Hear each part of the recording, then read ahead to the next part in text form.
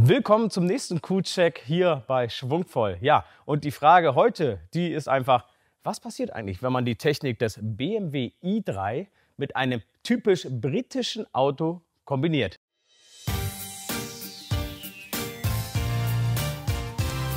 Dann kommen wir nämlich zum Mini Cooper SE, ja, dem kleinen Briten mit dem Antriebstechnik des BMW i3, 184 PS und 28,9 Kilowattstunden nutzbare Energie in der 2021er Facelift-Version. Ja, und ich habe ja den 2020er Mini Cooper schon in, meinem, ähm, in meiner Pendelstrecke getestet. Das Video kennt ihr, sonst verlinke ich es mal eben. Und heute geht es hier reinweg nur um die Qualität. Wie gut bauen die Briten Elektroautos? So, und beim Q-Check des ähm, Mini Cooper SE und das ist, wie ihr seht, übrigens eine 2021er Version. Erkennt man von außen zum Beispiel an der geänderten Frontschürze. Ansonsten hat er auch jetzt inzwischen sogar einen adaptiven ähm, Tempomaten drin.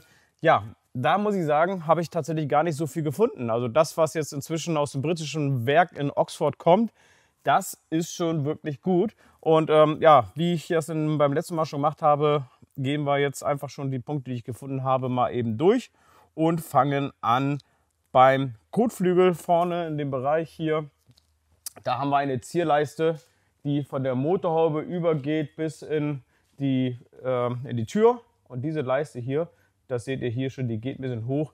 Hier im unteren Bereich ähm, habe ich einen Spalt von 0,9 mm auch. Und in Summe ist die ganze Leiste hier 2 mm höher an der Stelle wie an der Stelle.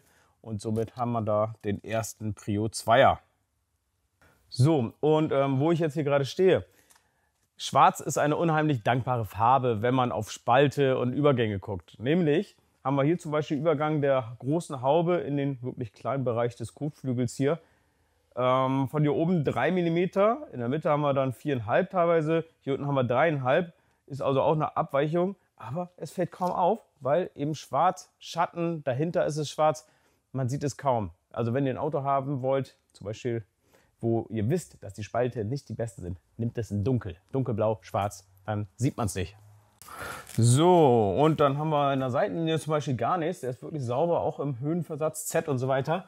Und jetzt haben wir hier hinten diese Radhausblende, die dann übergeht in einen Teil der Heckschürze. Und hier sieht man schon einen sehr, sehr keidigen Spalt.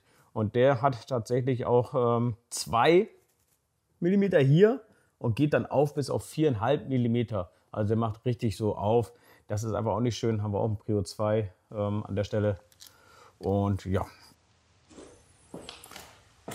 So, und was die Königsfuge ist inzwischen, das wisst ihr. Bei einem Mini Cooper ist aber nicht wirklich viel Königsfuge. Das sind im Prinzip nur hier. Danach geht es schon über hier ähm, neben die Rückleuchte, genau rechts und links. Aber wir haben ja auch eine große Diskrepanz von auf dieser Seite 4 mm, die ich hier saugenschmatzend reinbekomme. Ähm, 5,5 geht hier nicht rein. Die wiederum kriege ich dann auf der Seite hier locker Saugenschmatzen rein. Also über 1,5 mm von links nach rechts. Das ist dann doch etwas viel und auch ein Prio 2. Und wo wir jetzt am Heck sind, möchte ich euch noch mal was zeigen. Und das ist die, das Einkleben der Scheibe.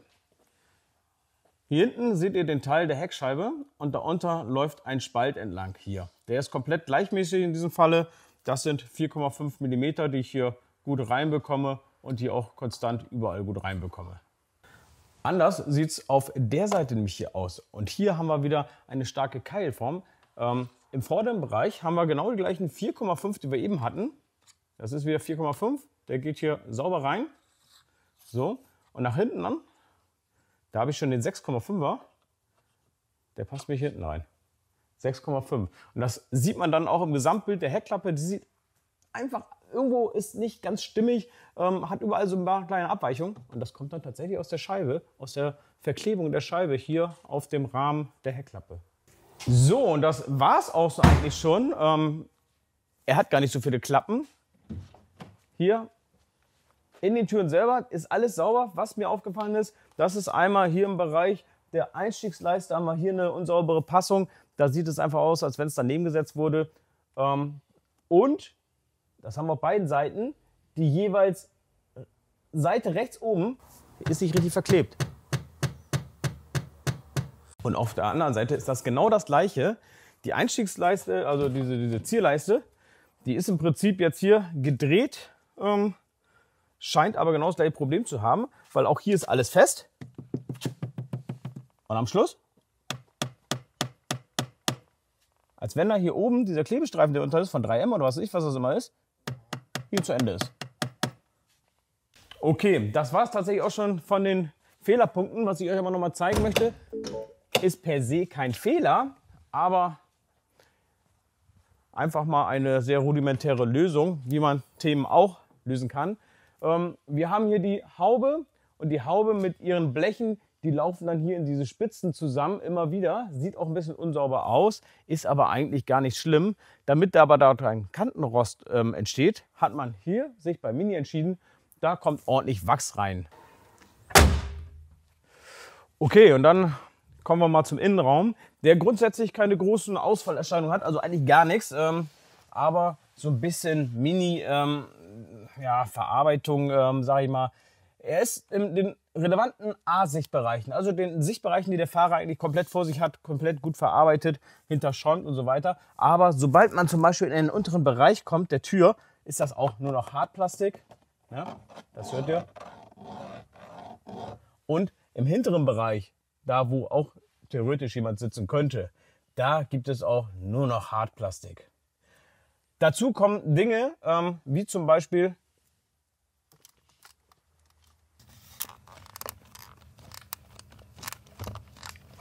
oder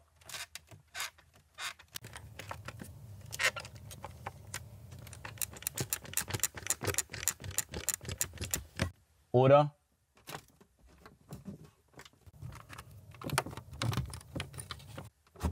Oder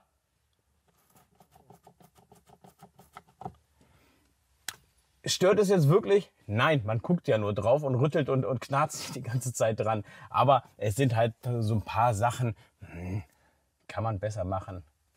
Oder? Da interessiert mich mal eure Meinung. Knarzt ihr im Auto rum? Fasst ihr überall an? Ähm, guckt ihr, ob alles ähm, vernünftig sitzt? Oder setzt ihr euch rein ins Auto, fahrt und es ist euch egal? So, finally, ähm, wer meine Q-Checks kennt, der weiß das, dass ich auch ganz gerne auf die Sitzqualität gucke. Und da fällt auf, der Wagen hat jetzt 1300 Kilometer runter, dass auch im Bereich des Beifahrersitzes hier auch schon deutliche Falten zu sehen sind. Also das ist ähm, in dem Bereich und gerade hier hinten sehr, sehr deutlich zu sehen. Hinten an der Rückbank haben wir auch was.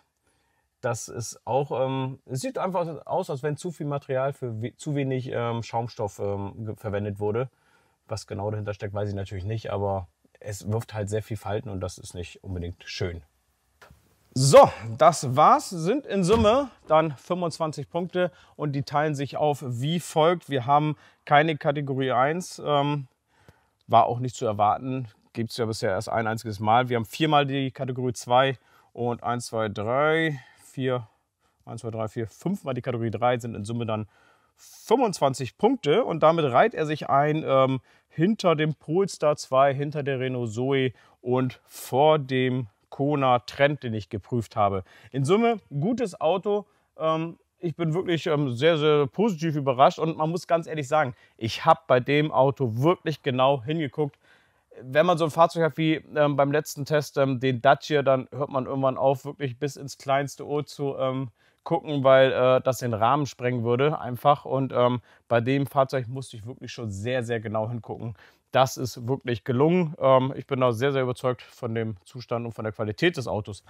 Und übrigens, eine Geschichte, und das könnt ihr gerne mal bei jedem Fahrzeug mitmachen. Ähm, das finde ich, fände ich mal auch sehr, sehr interessant. Und schreibt es in die Kommentare, wie es bei eurem Auto ist die vordere Abschleppöse. In diesem Fall ist hier ein kleiner Pfeil drauf. Man drückt hier drauf und dann soll die Klappe sich öffnen, um dann hier die Öse reinschrauben zu können. Funktioniert bei, ich würde fast sagen, 90 Prozent aller Autos nicht. Und hier hervorragend. Ich muss ganz ehrlich sagen, ich bin da hoch begeistert von, wie einfach diese Klappe aufgeht.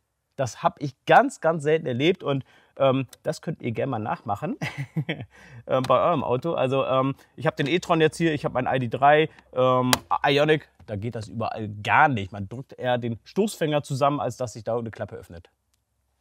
So, und das war es schon jetzt mit dem Q-Check des Mini Cooper SE Facelift 2021. Ich hoffe, euch hat die kleine Tour gefallen. Wie gesagt, das ist ein echt gutes Auto, damit macht man nichts falsch. Sollte man bei dem Preis aber auch deutlich erwarten. Ja, wenn euch gefallen hat, dann gebt mir gerne den Daumen hoch, abonniert den Kanal. Wenn es euch nicht gefallen hat, gerne auch den Daumen runter und schreibt mir in die Kommentare, was ich vielleicht verbessern kann oder vielleicht, wo ich in Zukunft mehr darauf eingehen sollte. Ansonsten bis bald und ciao.